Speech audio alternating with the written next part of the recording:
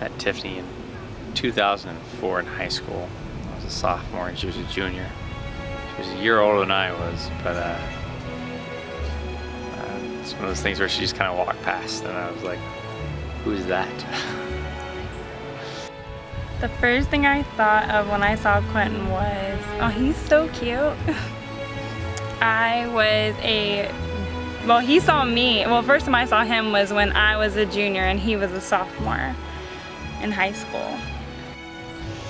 First thing I thought of when I saw her, besides who is that, is uh, I, I was at attention.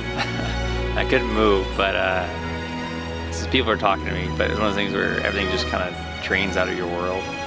And when that happened, it, the only thing I could really think of is I can't let that person out of my life. One thing that Quinn has always helped me with, which was in a challenging time in our lives, was he's always my rock. Whenever I have to deal with a problem, I'm, I want to run. And he always is the one that calms me down and keeps me there and like we then we calm down and we can settle it and figure it out so that's like the greatest thing that he's ever done throughout our whole relationship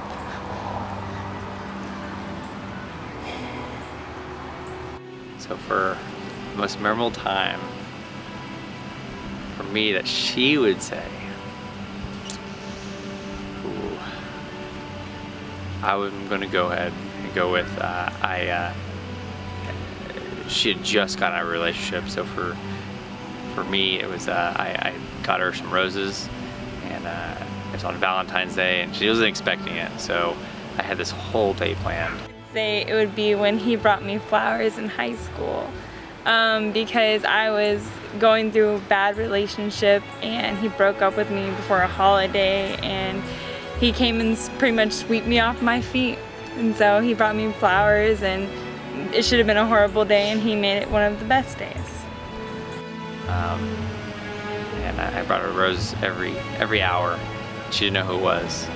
And then the very last day, or last end of the day, before we uh, it ended and everyone at home, we uh, each came out of nowhere three roses and I asked three questions. I said, will you, my Valentine, will you go to the ball with me? And uh, uh will you be my girlfriend? So it was not a a small one, but for I think that's the one she will always remember. What am I most thankful for him about is just stepping up when most people would run. um, whenever he sees challenges, he's the first one instead of being like, nope, too much. No, he's like, nope, we can do this. I don't think there's anything he can't conquer.